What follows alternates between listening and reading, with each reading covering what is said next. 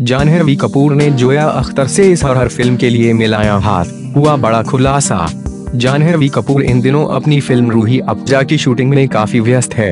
Film Roohi Afza में जानहवी कपूर के साथ राजकुमार राव मुख्य भूमिका में दिखाई देने वाले हैं। फ़िल्म रूही अफजा के आगरा शेड्यूल की शूटिंग हाल ही में खत्म हो गई थी। इसके बाद फ़िल्म के सेट से राजकुमार राव और जानहवी की मस्ती करते हुए तस्वीर सामने आई थी। जानहवी कपूर ने फ़िल्म धड़क से ही बॉलीवुड में डेब्यू किया था। करण जौहर के प्रोडक्शन हाउस से बॉलीवुड में डेब्यू करने वाली अदाकारा जाह्नवी कपूर लगातार एक से बढ़कर एक फ़िल्में साइन करती जा रही है। इन दिनों जानहवी कपूर के पास कई फ़िल्में हैं जिनको लेकर वो लगातार बिज़ी है।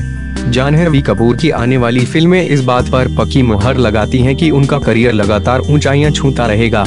हालाँकि जाह्नवी कपूर नई पीढ़ी की अदाकारा है जो केवल फ़िल्मों तक ही सीमित नहीं रहना चाहती हैं। जाह्नवी कपूर को पता है कि डिजिटल माध्यम से उन्हें दुनिया भर के कितने करोड़ लोगों का प्यार मिल सकता है, जिस कारण वो अपने डिजिटल डेब्यू के लिए पूरी तरह से तैयार हैं। अगर पिंक अविला की ताज़ा खबर की माने तो जाह्नवी कपूर बहुत ही जल्द जोया अख्तर के साथ एक हॉरर फ़िल्म के लिए हाथ मिलाने वाली है जो डिजिटल स्पेस में रिलीज़ होगी। जोया अख्तर ने इस फ़िल्म की स्क्रिप्ट तैयार कर ली है और जल्द ही वो इसे शुरू भी करने वाली है। हालाँकि यह फ़िल्म केवल जोया अख्तर और जाहनवी कपूर की ही नहीं होगी। जोया अख्तर, करण जौहर, अनुराग कश्यप और दिब्बाकर बनर्जी ने कुछ समय पहले एक नेटफ्लिक्स के लिए लस्ट स्टोरीज नाम की एक फ़िल्म बनाई थी। जिसमें हर डायरेक्टर की अलग अलग कहानी दिखी थी।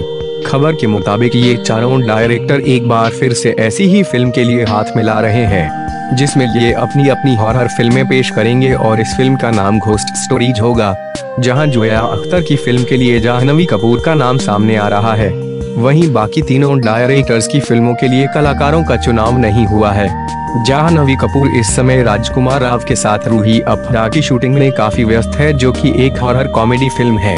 इसके साथ साथ उनके पास करण जौहर की तख्त, धर्मा प्रोडक्शन की जनसक सेना बायोपिक और दोस्ताना दो जैसी फ़िल्में हैं। सुनने में यह भी आ रहा है कि करण जौहर डियर कॉमरेड के हिंदी रीमेक में भी जाह्नवी कपूर को कास्ट करने की सोच रहे हैं।